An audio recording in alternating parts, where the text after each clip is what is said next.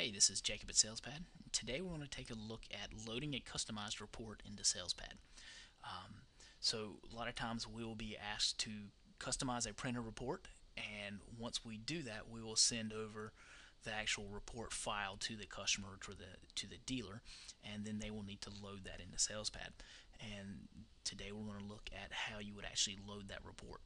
Um, so you need to be on a sales document. So however you need to get to that, either through the sales document, look up sales monitor. Or in this case, I'm just going to look up a customer, and from within that customer, open up a printed document uh, or a sales document. Doesn't matter if I pick an order, invoice, quote. Doesn't matter as long as I have access to the print button.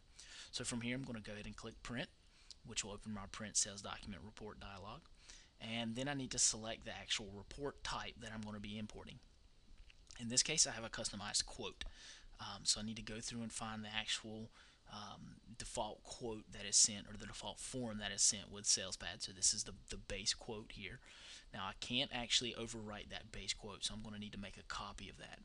So to do that I click on the properties button and from here click copy. And I'm going to just rename this to quote example 1 go ahead and hit OK, which is going to save that quote.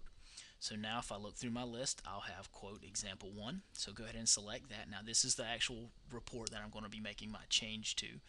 Um, if I need to rename it, I can rename it from the property screen. But I'm going to go ahead and leave it like this. I'm going to hit properties again. And this time I'm going to go into design. And this is actually going to take me into the report designer. Now from here, I'm actually need to load the file um, that has the custom changes in it. So I'm going to go to File and Open. And I have one on my desktop, and this is SalesPad quote um, report here. So I'm going to go ahead and hit Open. Now this is going to bring in all of those customized changes from that from that report file. Um, so this will have in logos, things like that. So here is my customized quote. Um, now I need to get this loaded to the SQL system or to the SQL server. To do that, I go to File and Save. By clicking Save, this actually uploads all of these changes in this layout into the uh, SalesPad table that stores our report designs. Um, so once that's done, then this is now available to everyone to print. So I can go to File, Exit, and go ahead and click OK here, and it's going to prompt me to save once more. And this is very important. You need to make sure that you hit Yes here. And now I can go select my um, quote example one. Go ahead and click Preview, and this will show me my formatted report um, with the changes to it and it's going to use the data from whatever uh, document I'm on. So here is my newly designed quote.